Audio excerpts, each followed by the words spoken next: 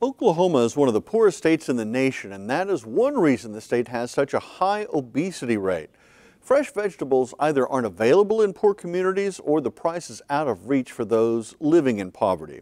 An innovative approach is now being taken by the Community Food Bank of Eastern Oklahoma, which, if duplicated, could be the answer to helping the poor eat healthy.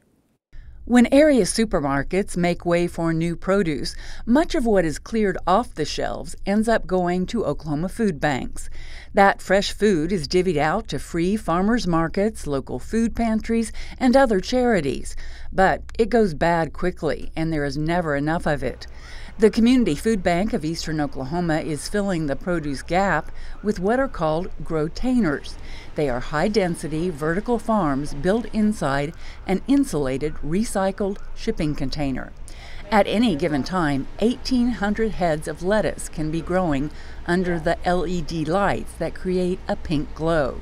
Director of Community Initiatives for the Food Bank, John McCarthy, explains the controlled environment produces high yields the thing that is nice about the salad mix, it, it grows fairly rapidly, so 28 days for the time that it's germinated till it's up and ready to be harvested.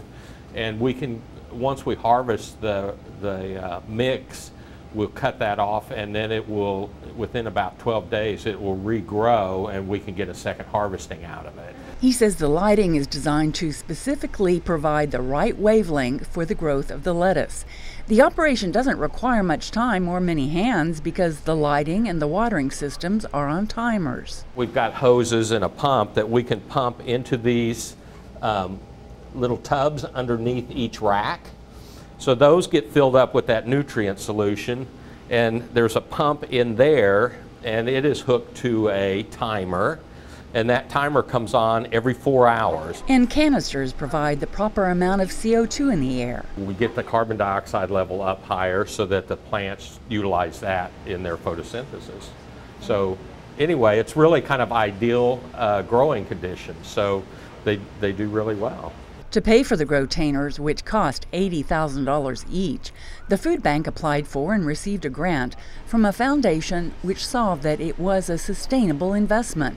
Eileen Bradshaw is the executive director of the Community Food Bank of Eastern Oklahoma. We calculated the return on investment and it was less than two years. So, um, you know, when you talk about a capital outlay of that size, a return that quick is actually excellent. Bradshaw says the growtainers allow them to grow all year long. We know that we're always trying to get our hands on more fresh produce and that it's always a challenge.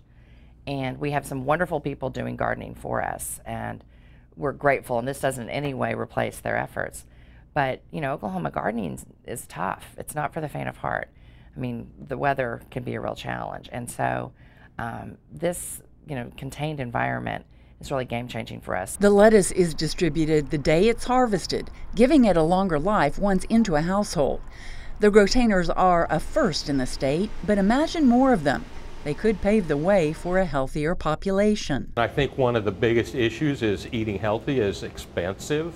Um, you know, when you're buying uh, good quality produce, it, it costs money. So that's one of the things that I think people that are um, struggling with, with hunger tend to buy you know, cheaper, less healthy foods. The growtainers have only been up and running for six months. In time, different varieties of produce will be planted here.